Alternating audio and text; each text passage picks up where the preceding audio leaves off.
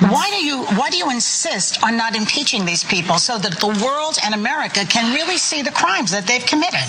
Well, th- I think that it I think it was important when I became Speaker, and this, by the way, a very important position, President, Vice President, Speaker of the House, Mm-hmm. I saw it as my responsibility to try to bring a much divided country together to the extent that we could. Speaker Pelosi, in 2006, you asked us to vote your party into power so that you could hold this administration accountable. And yet, a few moments after we did just that, you said that, oh, by the way, impeachment is off the table. I I hear you ask this question all the time. Why did you immediately rule out impeachment? Uh, I guess that's the thrust of this. Well, I ruled it out before the election.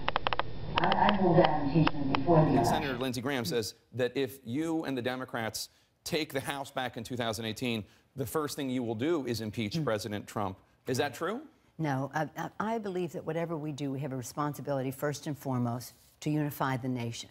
Second of all, you can't go down any path without the facts and the law. If that's there, perhaps it will come out in these investigations. I've been, on the left of our party is still annoyed with me for not impeaching President Bush for going into Iraq. What could be worse than that? But the fact is uh, that uh, we've got to really be saying what this election means to people in their lives. Somebody has some facts that come forth about President Trump, that, let the chips fall where they may.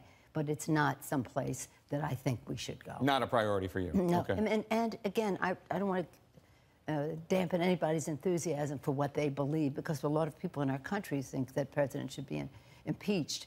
But that it, that's not a decision.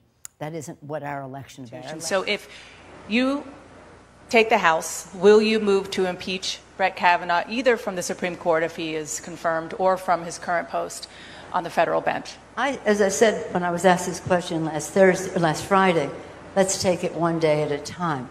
That is, we're not about impeachment. What